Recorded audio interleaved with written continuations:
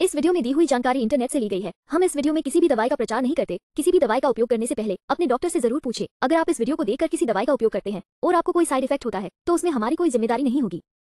हॉप्रिगैनिक्स गोखरू पाउडर एक स्वस्थ पाचन और हृदय प्रणाली को बढ़ावा देने के लिए जाना जाता है। गोखरू प्रतिरक्षा प्रणाली को मज़बूत करने में मदद करता है और शरीर के पुष्ट प्रदर्शन को बढ़ाता है। इसके अलावा, गोखरू स्तंभन दोष जैसे यौन विकारों को प्रबंधित करने में मदद करता है, क्योंकि यह एक प्राकृतिक कामोत्तेजक है। चलिए जानते हैं इसके कुछ फायदों के बारे में। एक, ये शरीर के इम्यूनिटी लेवल को बढ़ाने में मदद करता है।